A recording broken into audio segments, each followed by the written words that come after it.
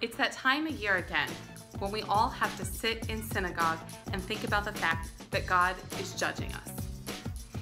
It's an acknowledgement that God cares what we think, God cares what we do, God cares how we behave. Well, great.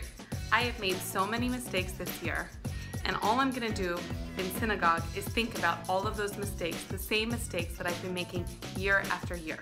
But here's how God judges us. When the shofar's being blown, whatever we feel in our heart, whatever thoughts we're thinking in our head about ourselves, about who we want to be, that's how God judges us.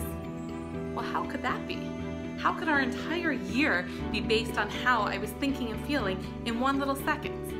And besides, I don't know about you guys, but often when I'm hearing the shofar blown, I'm thinking about the shoes of the woman sitting next to me, if I've heated up the lunch yet, and when are we finally gonna get out of here?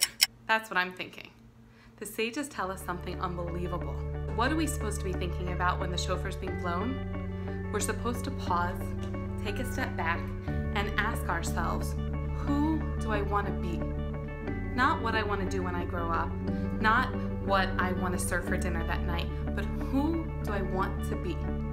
Who am I? What do I care about? What are my hopes? What are my dreams? What am I striving to accomplish? When I leave this world, how do I want to be remembered? How do I want my children to think of me? How do I want my community to think of me? How do I want my husband to think of me?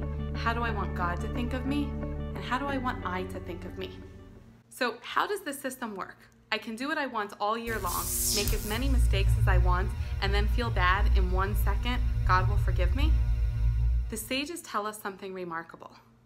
The reason that God judges us in that one moment is because however we think we can be, that's how we can be. In the direction that a person wants to go, there that person will be led.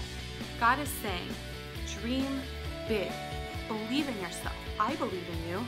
Believe that you can be that amazing, best version of yourself that exists. Dare to dream, dare to hope, and invest in your future. Keep working, keep striving, and in that moment, God will say, that's who you want to be? I'm going to help you develop into the best you possible. This Rosh Hashanah, dare to dream, dare to believe that you have tremendous, limitless potential waiting for you, and your job this year is to believe that that's who you can be. Shana Tova.